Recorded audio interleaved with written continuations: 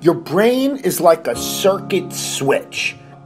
Once you believe you are something, you actually embody it. You embody that feeling. If you were, God forbid, in a coma and you woke up and you didn't really have a memory and you were told that you used to be a Navy SEAL and they want you back now when you're healthy, do you think you'd act differently and hold yourself differently, conduct yourself different, and have a different self concept of who you are than if you were told you were a piano instructor? Being successful in life is all about having the proper belief system in who you are. Truly believing that you are something unique, that you are something special in that field. If you truly believe inside of you that you are one of the best actors in the world, you will be entirely different than if you're like, I hope I'm good.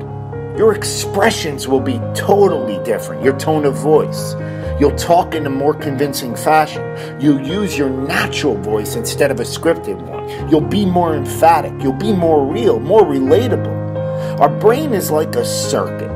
And so if we introduce it with the proper wiring, you're going to go straight to your target. If you're unsure about who you are, then your dreams, your goals, they will never become a reality. Everyone has mental doubts in life, internal conflicts. Even the most successful people that you look up to, but they don't live there.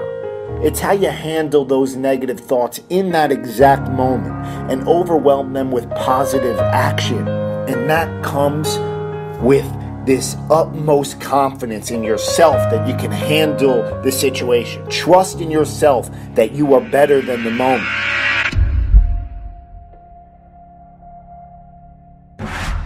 The greats think differently. The, the greats see differently, right? The, the greats have a different worldview. The greats, they, they approach the game in a totally different way. So I need you to do me a huge favor. I need you to think about what you're thinking about when your effort is low. Because if you can get this, if you can get this, you can get any success you want in life. You can have anything you want in life if you can get this. The next time you give a low effort, right? You give it 70% or 50% or 30%. I want you to think about what you're thinking about when your effort is low. If, if, if your effort is low, you're probably not thinking about the opportunity, you're probably thinking about the obligation.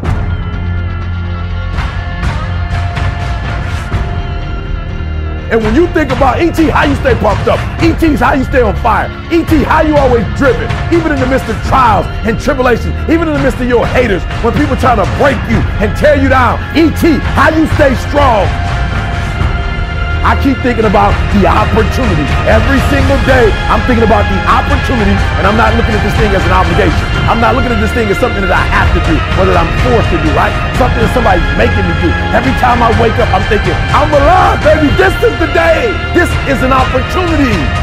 If you want what you've never had before, if you want to do what you've never done before, if you want to be what you've never been before, change your mentality. And I want you to see that effort goes up when you look when you look at it as I got an opportunity of a lifetime. But you should be excited about the fact that you have an opportunity.